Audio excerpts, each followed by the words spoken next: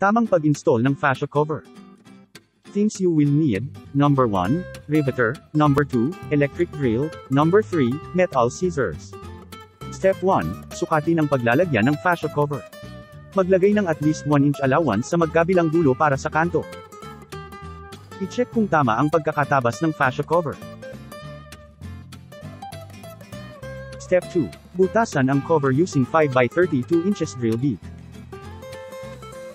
E-attach sa frame ang fascia cover using 5 by 32 inches by 1 2 inch blind rivets.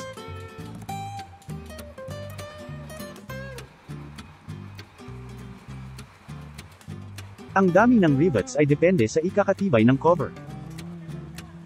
Itupi ang 1 inch allowance sa magkabilang dulo at i-attach din ito sa frame para sa maayos na pagkanto. Step 3. Sukatan ang susunod na gutter line at i-layout din ito sa fascia cover. Gupitin base sa actual na sukat.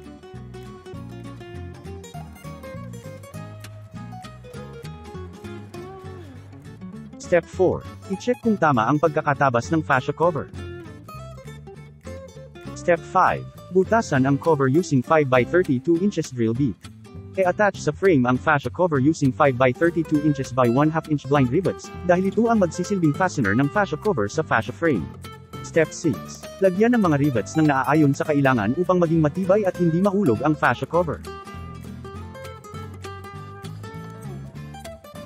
Step 7. Matapos mailagay ang lahat ng rivets, installed na ang ating fascia cover.